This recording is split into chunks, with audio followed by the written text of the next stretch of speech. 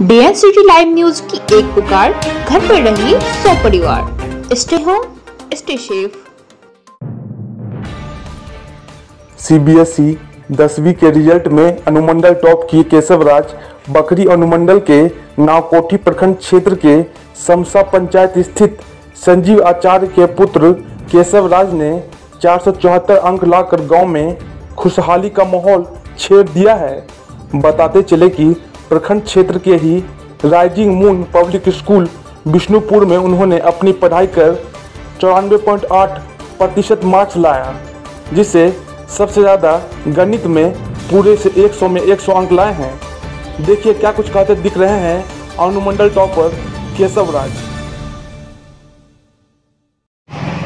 आज हम बात करने वाले हैं बेगूसराय ज़िले के बखरी अनुमंडल अंतर्गत।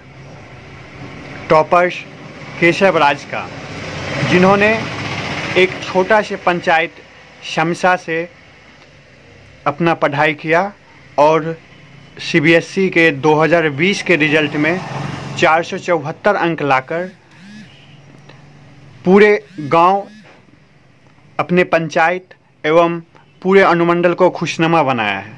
तो आज हम इनसे बात करने के लिए यहाँ उपस्थित हुए हैं। पहले तो आपको बहुत बहुत बधाई कि आपने चार से चौहत्तर मार्क्स लाया। थैंक यू और मैं आपसे पूछना चाहता हूँ कि आपने चार सौ चौहत्तर अंक लाया तो आपको कैसा लग रहा है? बहुत अच्छा लग रहा है। जितना मैंने एक्सपेक्टेशन किया था उससे थोड़ा कम आया है बस। और आगे के एग्ज़ाम में जो मेरा टारगेट है वो उसको मैं इसमें मेंटेन कर दूँगा। अभी जो सीबीएसई का रिज़ल्ट आया है। उसके अनुसार आपने जो चाहा उसके अनुसार रिज़ल्ट आया है या उसमें कुछ कमी रही है? कुछ कमी रही है। मैंने थोड़ा ढिलाई कर दिया था पढ़ने में इसलिए मैं तो 98 तक जाता लेकिन ट्वेल्थ में एग्ज़ाम में ज़रूर 98 आएगा। मतलब 94.8 परसेंट अभी आपका रिज़ल्ट आया है ये भी काबिल तारीफ़ है। और नेक्स्ट क्वेश्चन आपसे और चार सौ चौहत्तर मार्क्स आपको है तो इसमें सबसे ज़्यादा किस सब्जेक्ट से है? सबसे ज़्यादा मैथ्स से है। कितना मार्क्स है मैथ्स में? मैथ्स में हंड्रेड है। मैथ्स में हंड्रेड है। हाँ। तो आपने मैथ्स पे ज़्यादा फोकस किया था? हाँ मतलब मैथ्स के मैं टीचर यहाँ पापा मेरे पापा जी के टीचर थे प्रोफेसर गाँव में थे इसलिए उनसे उन्हीं के यहाँ रोज़ जाते थे वही मेरा मार्गदर्शन किए मैथ में ज़्यादा।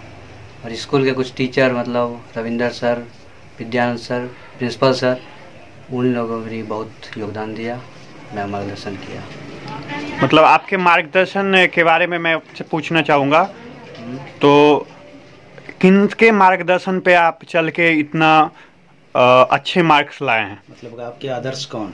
सबसे पहले तो मैं अपने माता पिता को धन्यवाद देना चाहता हूँ क्योंकि मेरे माता पिता ही मेरा मतलब मार्गदर्शन करते थे क्वेश्चन हम भेजते थे पापा जी के व्हाट्सएप पे और वो भेजते थे उसका सॉल्यूशन उसके बाद स्कूल में टीचर्स सब भी बहुत मदद किए। किस स्कूल से पढ़ाई किए थे? Rising moon public school Vishnupur Naokothi Begusarai. उन स्कूल के सभी टीचर मतलब आपको सपोर्ट किए थे? हाँ स्कूल में सभी टीचर सपोर्ट किए। अंतिम सवाल आपसे कि आपका आगे लक्ष्य क्या है? और आपसे जो जूनियर्स स्टूडेंट हैं उनको आप क्या संदेश देना चाहेंगे? मेरा लक्ष्य आगे का आई टी जी करके इंजीनियरिंग इंजीनियरिंग में जाना है। उसके बाद यूपीएससी से आईएएस बनना है।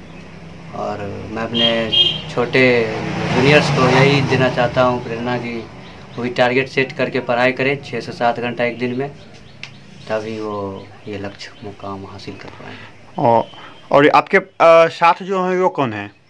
वो ये मेरी बहन है। ये भी मेरे साथ ही सी का एग्ज़ाम दिए इस बार।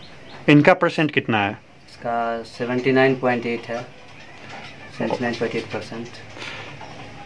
मतलब इसी बार ये भी पास हुई हाँ हैं? मेरे साथ ही बहुत मेहनत की हुई कुछ एक्सपेक्टेशन से कम आया है बस। इनका क्या नाम है?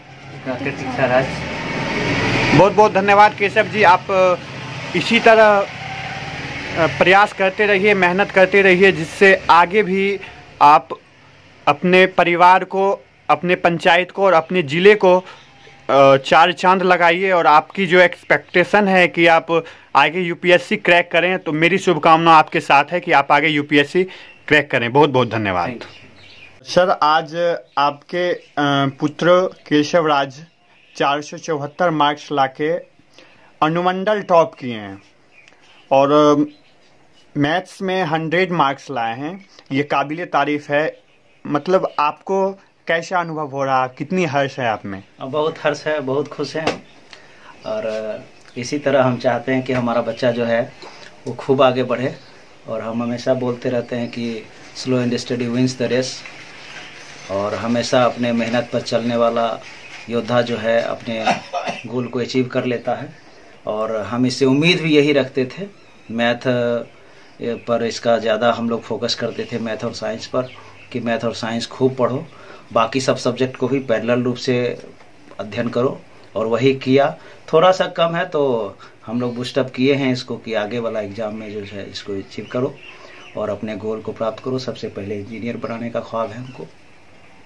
हम एक मामूली शिक्षक हैं और हम चाहते हैं कि हमसे बेटर हमारा बच्चा हो। हम इसको अपना संस्कार दें ताकि सादा जीवन उच्च विचार, सादा जीवन रहे और विचार ऊँचा रहे, गोल अचीव हो जाएगा। और धीरे धीरे अपने मेहनत को सफल बनाते रहे। ठीक है, सर बहुत बहुत धन्यवाद।